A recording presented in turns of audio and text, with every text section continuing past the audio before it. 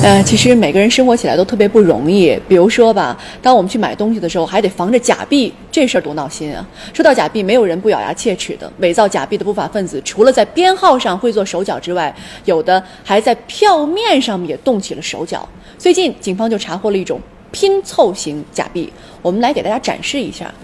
这就是警方最新查获的新型的拼凑型假币，您仔细看一看啊，就能看到其中的问题了。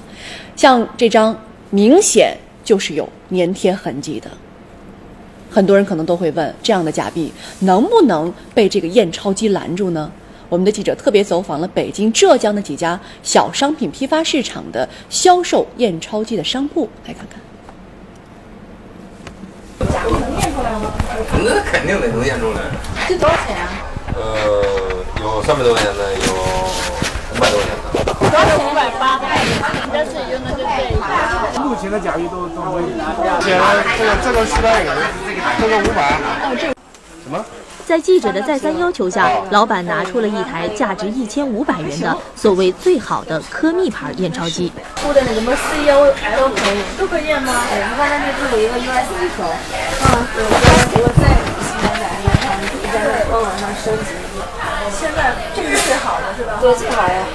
记者采访发现，验钞机的价格从两百元到一千五百元不等。不少还都贴出了银行专用的标志。按照店员的说法，他们销售的验钞机能验出各种假币。不过记者也注意到，商家用来检验的假币仅仅是一张纸喷涂了人民币的图案而已，用肉眼都能看出破绽。被验钞机检测出来，当然是易如反掌。随后，记者把从公安部获得的三张百元假币混在了三十张百元真币中进行了检测，结果让人大失所望。对，顺畅。是普通用的，就是相当好。你要是银行那个，他们有就是那个，呃，就李金斗做广告那个，嗯，呃，那个带的保险就是那个，呃，如果是验不出来，赔偿多少那个？